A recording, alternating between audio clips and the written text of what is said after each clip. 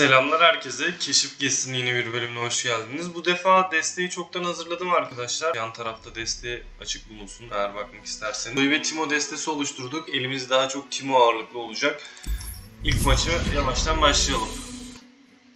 Bu arada destemizden bahsedecek olursak destemiz Zoe ve Timo destesi. Yani çok uyumlu gözükmese de iki tarafta sürekli büyü üreterek çok hızlı biçimde rakibin elini mantarla doldurabiliriz diye düşündüm. Karşımızda Sejuani ve Talia var.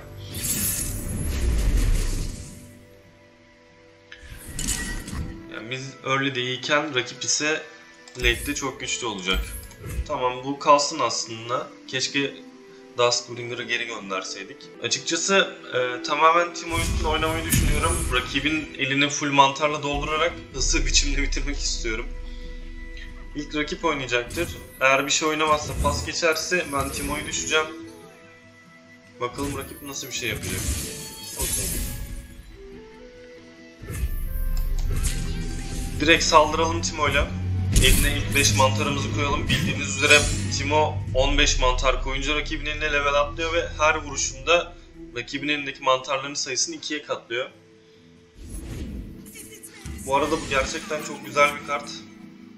Çünkü ben ne zaman büyü oynarsam e, rakibin eline 3 mantar düşürecek. Pardon koyacak. İlk mantarı çekti bile. Güzel. Burada aslında Temple oynasak çok daha iyi olabilir çünkü Temple e, her oynadığım iki farklı kart için benim elime özür dilerim benim iki büyü manamı dolduracak.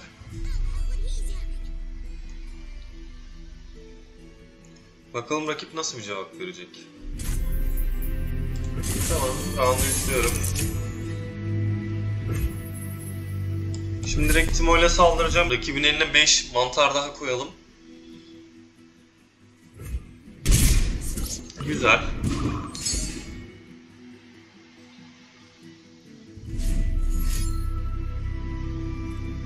Umarım Timo'yu öldürmez.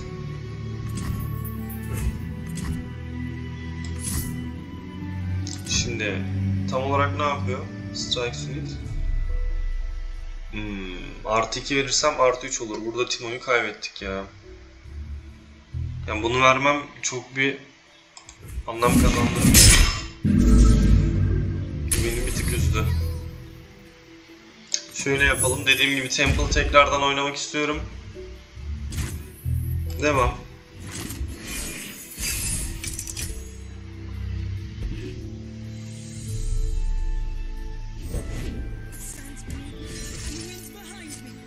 Şimdi burada Champweb'i direkt düşeceğim arkadaşlar. Rakibin eline mantar doldurmaya çalışacağım. Aynen 3 numaram geri doldu.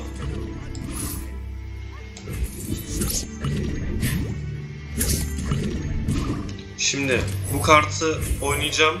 Discardlayarak yeni bir kart elime alacağım. Burada ben ne istiyorum? Serpent'i istiyor olacağım. Çünkü 2'ye 1 Challenger olan bir ünite ve hani gerçek anlamda çok iyi. 5'e 4. 3 mantar. Bence gayet güzel. Şimdi burada tekrar Champion oynayalım. Elimiz tekrar mantarla dolsun. Ardından tekrar mantarları oynayacağım. Çünkü ben az önce de söylediğim gibi ne zaman eğer bunu oynarsam e, rakibin eline bu kart 3 mantar daha koyacak.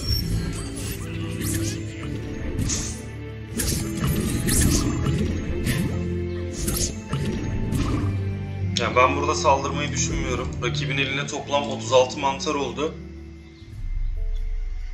Bakalım rakip nasıl bir cevap verecek. Ya amacım tamamen şu an savunma odaklı gitmek. Kartı koruduğum sürece elinde hiçbir sıkıntı yok. Tamamdır. Bu çektiğimiz landmark çok iyi. Elimdeki 3 kartı discardlayarak yerine e, fleeting yani geçicilik etkisi olan 3 kart koyacak.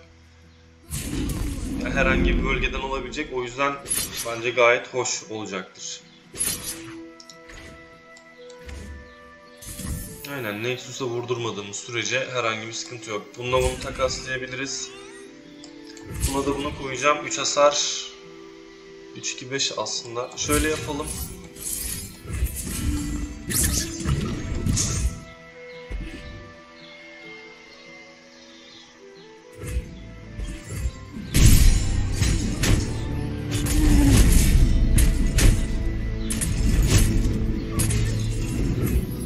Devam. Burada şimdi bunu oynayalım direkt arkadaşlar. Aslında 4 5 9 4 hasar versem 8 tam yetiyor. Aynen. Bütün manayı harcayacağım burada.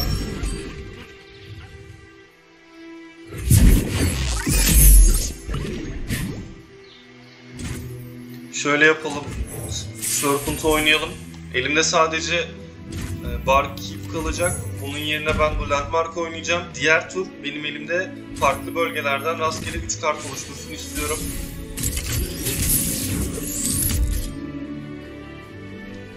Aynen böyle. Kaç mantar? 2. Bence güzeldir. Burada Sejuani'nin karşısına saldırı yapabilecek bir şey oynayalım. Bence gayet hoş.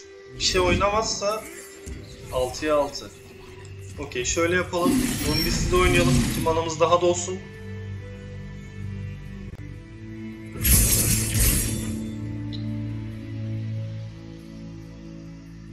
Bakalım rakip nasıl bir cevap verecek.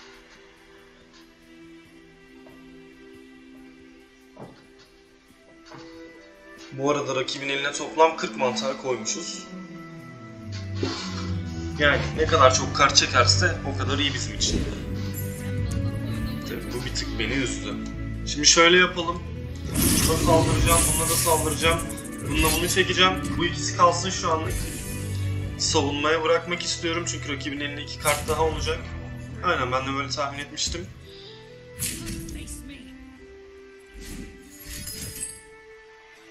Artı 3 artı 4 verdi. Okey en azından elinden o kartı almış olduk. Bence gayet güzel. Şimdi burada bunu tekrar oynayacağım. Çünkü bu benim elimde bir mantar destesi daha oluşturacak. Eline 5 mantar daha koyacağız. Artı bununkiyle birlikte 8 mantar olacak. Bakalım kaç çekecek. 48 mantarı var şu an rakibin. Ve geriye 18 kartı kaldı.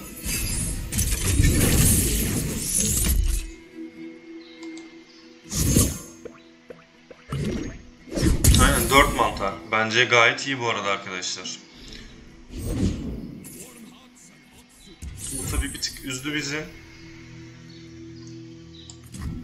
Burada sanırım direkt bunu ortadan kaldırmak istiyorum. Herhangi ekstra bir blok ya da herhangi ekstra saldırabilecek bir şey görmek istemiyorum. Aynen zaten bunu harcamış olması da bizim işimize geldi. Ben yine mantarımı koymuş oldum.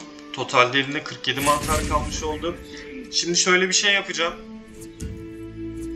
Hani o ikisini harcamayıp sadece bu ikisiyle oynayarak beni buna oynamaya zorunda bırakacak. Ama ben şöyle bir şey yapacağım. Ee, bununla stunlayacağım. Bunu da karşısına koyacağım. Aslında koyalım bakalım rakip ne yapacak. 8 manadayız. Ardından bunu da oynayacağım. Yani elimi tamamen aslında dolduruyorum arkadaşlar.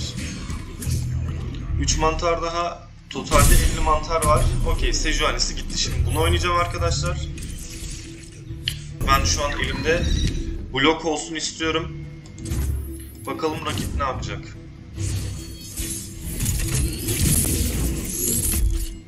Ben de böyle tahmin etmiştim. Şimdi öncelikle büyü hırsızını oynayacağım. Spekulatif. Rakibin oynadığı 3 büyünün içinden herhangi birini seçeceğim. Aynen ben bunu alacağım sanırım. 3 mantar daha. Ardından bununla bir dakika artı 3 versek 4 oluyor. Yok. Ama artı 3'ü buna versek 4 oluyor. Okey. Devam. Bu ikisiyle bir saldırmayı deneyeceğim. Bakalım rakip ne yapacak. Burada Şimdi şöyle yapalım. Buna artı 3 versem 7 yapar. Bunu net bir biçimde keser. Buna da artı 2 versem 4 olur. Direkt düşer. 4 2 6 olur. Buna 4 veririm. Diğer tur bir tık daha kolaylaşır. 4 4 8. Okey böyle yapalım. Buna da bunu yapacağım. Ya amacım aslında elimdeki bütün büyüleri harcamak arkadaşlar. Çünkü rakibin elini sürekli mantarla dolduruyorum. Yani benim gerçek anlamda işime geliyor. Keza kendi canını her tür yenileyebilen bir kart oynaması benim için bir tık sıkıntı olacak.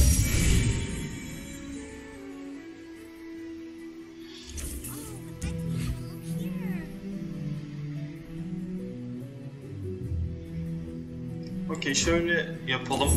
Dur bakayım biz zaten 10 manadayız değil mi? Aynen tamam istiyorum 3 büyü manamız biriksin. Bakalım bu defa ne çekeceğiz?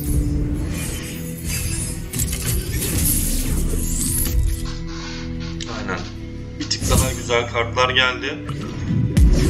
Bu arada Deep'e girdik. Yani 15 kartımız kaldı.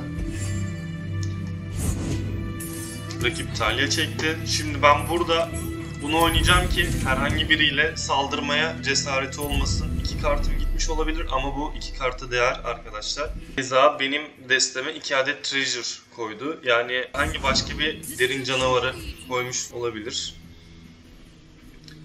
Şimdi 2'ye 3 efemeral bir kartı yok. Saldırma sırası onunla.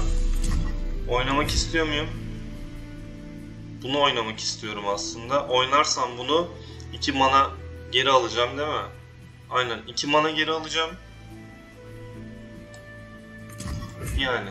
Okey. Pes diyelim bir rakip ne yapacak bakalım. Çünkü rakip saldırdıktan sonra ben herhangi birine ölen birinin yerine koymak istiyorum. Çünkü şu an koyacak olursam benim için bir tık sıkıntı olacak.